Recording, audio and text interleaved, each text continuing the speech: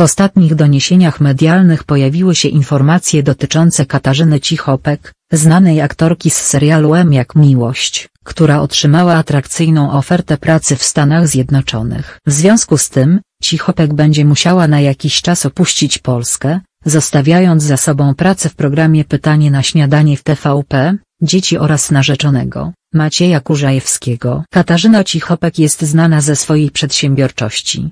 Posiada własną firmę produkującą kosmetyki i biżuterię sygnowaną jej nazwiskiem, aktywnie promuje produkty na Instagramie, gra w serialu, prowadzi program śniadaniowy, a teraz rozpoczyna nowe wyzwanie zawodowe w USA jako konferencjerka. Maciej Kurzajewski, narzeczony Cichopek i znany dziennikarz sportowy, również niedawno udał się do Stanów Zjednoczonych.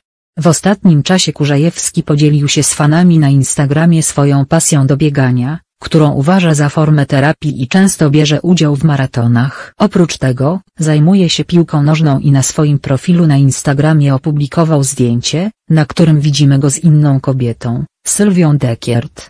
Pod zdjęciem Kurzajewski napisał, piłka nożna dla każdego. Gramy. Media spekulują, jak Cichopek zareaguje na to zdjęcie i czy wybaczy swojemu partnerowi towarzystwo innej kobiety.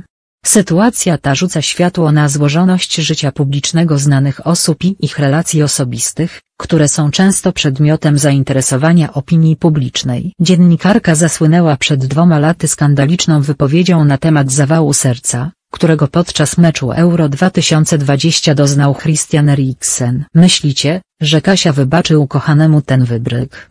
Wierzymy jednak, że związek Kasi Cichopek i Macieja Kurzajewskiego jest na tyle silny, że przetrwa każdą rozłąkę. Dziękujemy za to, że jesteście z nami na każdym kroku.